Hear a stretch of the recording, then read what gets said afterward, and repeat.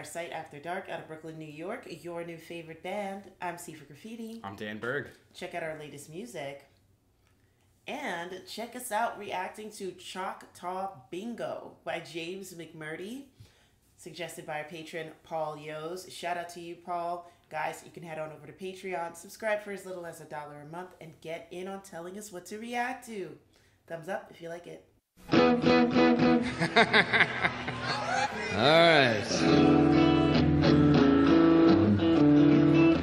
We'll start this next set with a song about the North Texas, Southern Oklahoma crystal methamphetamine industry.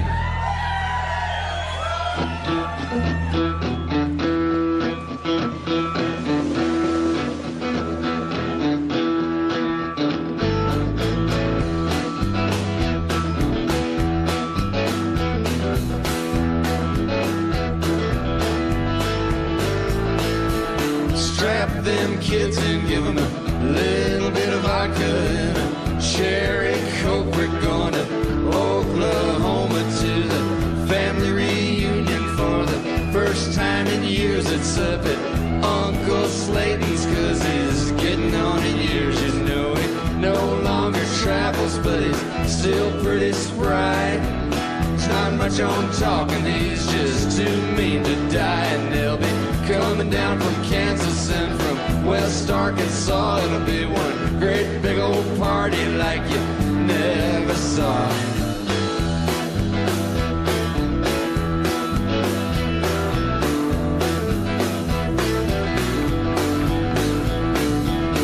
Uncle Slayton's got his Texan pride. Back in the thickets with his Asian bride. He's got an Airstream trailer and a Holstein cow. Still makes whiskey cause he still knows how. He plays that Choctaw bingo every Friday night. You know he had to leave Texas, but he won't say why. He owns a quarter section up by Lake Eufaula. Caught a great big old blue cat jug. Sells his hardwood timber to the chipping mill. Cooks that crystal meth because the shine don't sell. He cooks that crystal meth because the shine don't sell. You know he likes that money. He don't mind the smell.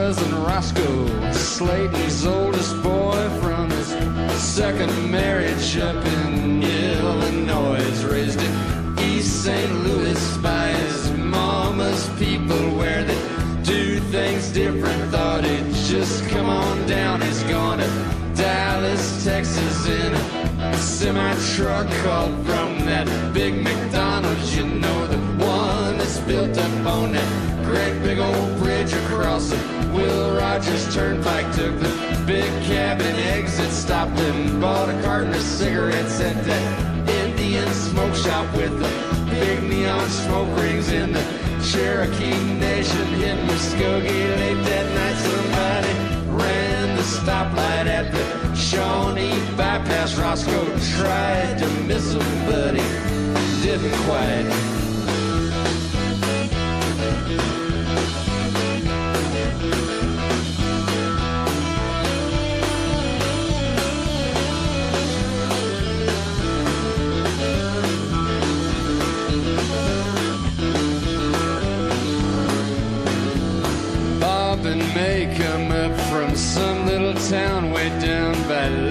Texoma where he coaches football. They were two-way champions now for two years of running, but he says they won't be this year. No, they won't be this year. And he stopped off in Tushka at that pop knife and gun place, bought a SKS rifle and a couple full cases of that steel core ammo with the Berdan primers from some Block nation that no longer needs a man.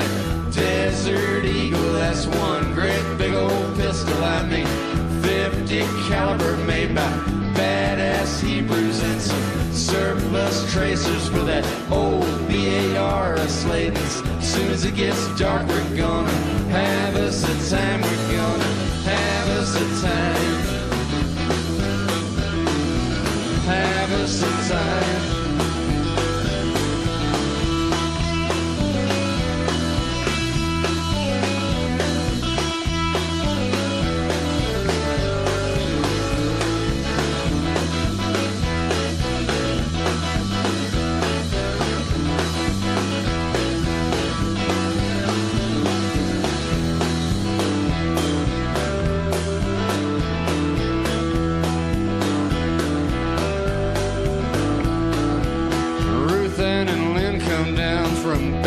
Springs, and that's one hell-raising town way up in southeastern Kansas. Got a biker bar next to the lingerie store that's got the Rolling Stones lips up there in bright pink neon, and they ride downtown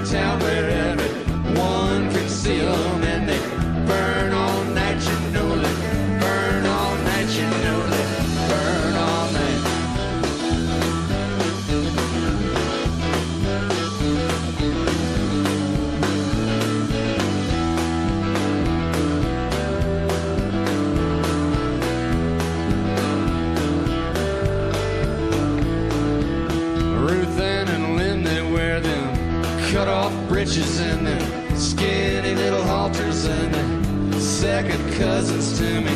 Man, I don't care, I wanna get between them with a great big old heart on like a bois d'arc fence post. You can hang a pipe rail gate from some sister twisters till the cows come home and we'll be having us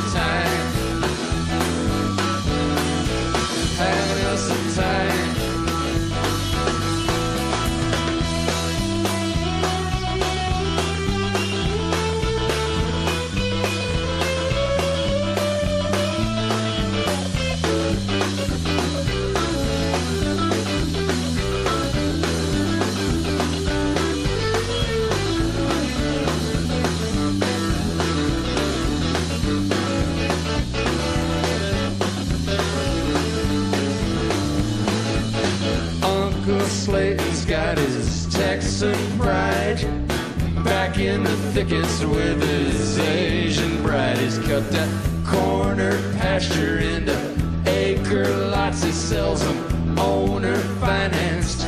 Strictly to them, it's got no kind of credit. Cause it knows they're slackers and they'll miss that payment. Then he takes it back. He plays that Choctaw bingo every Friday night. He drinks his Johnnie Walker at that Club 69. We're gonna strap them kids and give them a little bit of Benadryl and a cherry coke. We're going